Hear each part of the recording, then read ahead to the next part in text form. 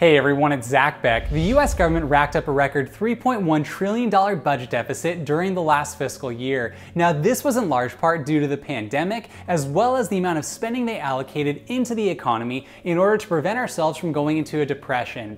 Now, according to the Department of Treasury, we have 15.2% of our GDP as deficit spending. This has significant implications for taxes, investments, stocks, bonds, and overall the economic outlook for the global economy as a a whole based off of what is happening with our spending here in the United States. So what I wanna do in this video is talk about what this means for you and myself, how we should be planning right now to prepare ourselves for the future so that we can achieve our financial goals. So let's jump into this right now.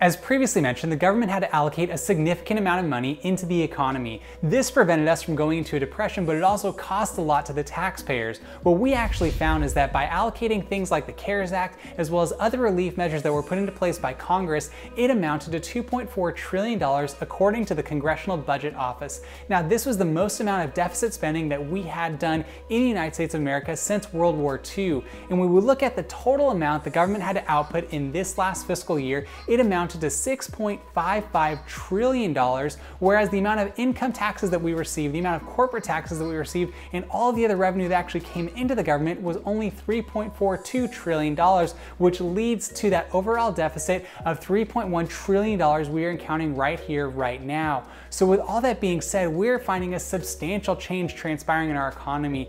On that note, the government saw significant declines in the amount of revenue it was receiving from key sources.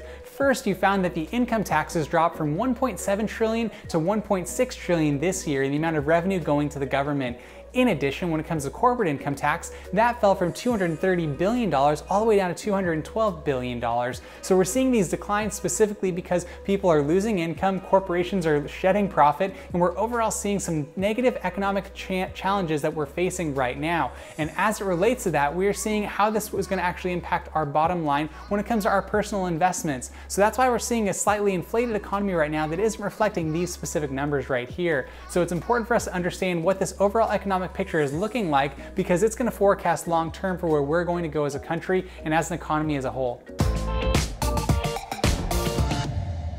It's clear that we need to address this budget deficit and get on a more sustainable pathway moving forward. However, the amount of tax increases and spending cuts that would be required in order to address this issue are significant, and as a result of that, I believe they should be delayed until after this pandemic subsides. Because right now, the Congressional Budget Office is saying that we're going to see any budget deficits below $1 trillion for the next 10 years. So this is going to have significant implications when we think about long term, our taxes are probably going to increase, and overall spending is probably going to decrease and overall that is going to lead to lower quality services and higher costs as taxpayers. So we should be planning accordingly when it comes to our investment strategies and how we're allocating our money accordingly right now. Now you might be facing a really challenging circumstance right now. Perhaps you were laid off, perhaps you were furloughed, you're dealing with a health related issue, or overall you're just dealing with the stress associated with this pandemic and the uncertainty that lies ahead. So my encouragement to you is to try and do everything you can to position yourself in a manner where you are actually in control of your finances, if you are deep in debt, if you are able to live anything beyond paycheck to paycheck, then it's hard for you to imagine what a tax increase long term is going to mean for yourself, let alone being able to invest in the stock market. So I know these big picture headlines that come across the newsfeed that we see where we have $3.1 trillion budget deficits is really jarring and significant, but sometimes we don't relate to it because it seems so out there. But if you and I understand what our personal financial situation is, it allows us to be positioned long term in a more sustainable pathway personally so we're not running deficits, we're not getting into debt, and that allows us to achieve our financial and personal goals. So my encouragement is to not be dismayed or discouraged by the deficits being run up by the government, but to understand what they mean and how it's going to impact you and myself directly. When it comes to deficits and spending, I believe it's important to note that Treasury Secretary Steve Mnuchin and Nancy Pelosi are currently in negotiations right now trying to address this issue by actually spending more money and stimulating the economy further. And what we have seen is that the House has passed numerous iterations of what's called the HEROES Act, the Senate has passed what's called the HEALS Act, and the President has not signed any piece of legislation because those two sides have not agreed yet. But what is important to note is that the government is probably going to spend a couple trillion dollars more once this is all said and done only further adding to our deficit as a whole. So once again, we are gonna be dealing with deficits for quite some time. So what you and I can do right now personally is understand the basic financial principles that we should be applying every single day and actually continue to apply those so that way we make sure we don't find ourselves in a long-term situation where we're running debts or running a deficit. So here are a few things that you and I can do right here, right now. First is to cut spending. Do everything you can to cut out areas of your life that aren't necessary when it comes to either bringing you joy or fulfilling your basic needs. Now, there are areas of life that are important that you want to spend money on when you're spending time with friends or family, but try and cut out areas that are unnecessary, and I'll leave those up to you because you can only determine what's best for your life.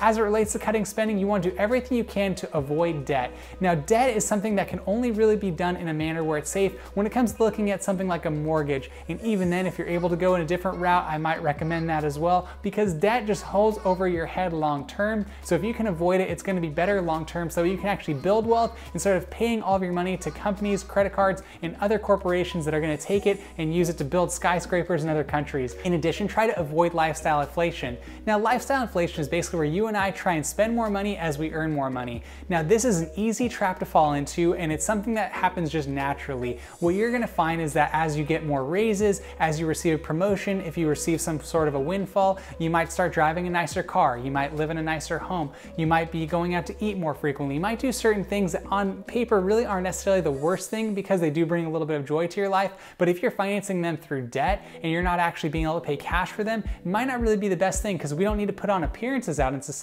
We just need to know what we're doing internally to provide for our families to have a fulfilling and joy-filled life. Another thing you want to do is actually be more active and intentional, try and have your money grow by investing it strategically. So I specifically like to invest into what are called index funds because they grow over time long term at about a 5 to 8% annual return. And that to me is a safe approach to take. There are clearly other ways you can go, specifically investing in real estate, investing in individual stocks, investing in yourself. There are other avenues you can apply, and I think that's actually a good thing to do as well. But the safest bet is really going through more of an index fund, which is a passive approach to your investment strategy strategy. Now, when you look at the overall spending the government is doing, you might think about wanting to have your money in a high interest savings account or going and placing your money into bonds. Thinking about long term, when you're getting a government bond, that is something that's supposed to be secured 10 years down the road and it's going to yield you a certain amount. But overall, bonds are going to be a little bit lower because of the amount of deficit that we have here in the United States as a whole.